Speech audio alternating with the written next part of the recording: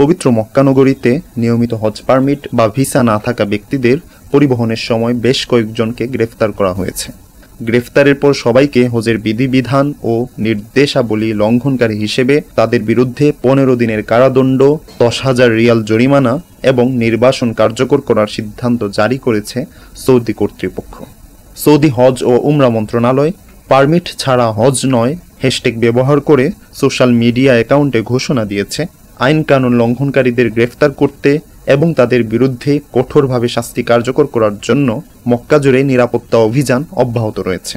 এদিকে এক বিবৃতিতে সৌদি স্বরাষ্ট্র মন্ত্রণালয় জানিয়েছে, পাসপোর্টের প্রশাসনিক কমিটি আটটি প্রশাসনিক সিদ্ধান্ত জারি করেছে। যার মধ্যে রয়েছে, যাত্রী বহনকারী যারাই ধরা পড়বে, তাদের প্রত্যেককে পনেরো দিনের জেল এবং দশ হাজার রিয়াল জরিমানা করা হবে। উল্লেখ্য, আইন লঙ্ঘনকারীদের শাস্তি কার্যকর করার পর প্রবাসীদেরকে দেশে পাঠানো এবং পরবর্তীতে নির্দিষ্ট সময়ের জন্য সৌদি আরবে পুনরায় প্রবেশের উপর নিষেধাজ্ঞা থাকবে।